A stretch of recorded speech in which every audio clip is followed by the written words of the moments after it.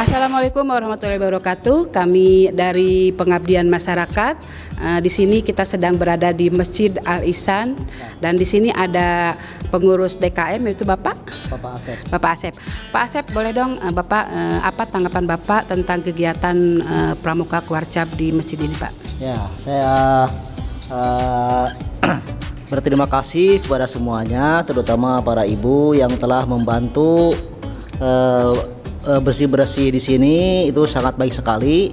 Dan kalau bisa seminggu sekali juga nggak apa-apa kalau buat saya gitu ya. Jadi saya ter, sangat terbantu sekali saya gitu ya. Ya terima kasih. Mudah-mudahan Allah membalas kebaikan ibu dan anak-anak sekalian.